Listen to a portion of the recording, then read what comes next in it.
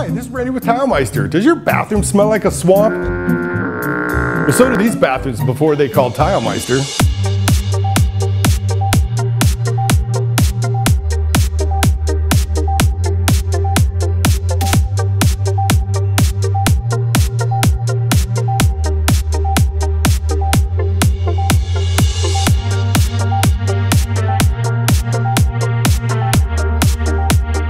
For a free estimate, click on the link or visit tilemeister.com.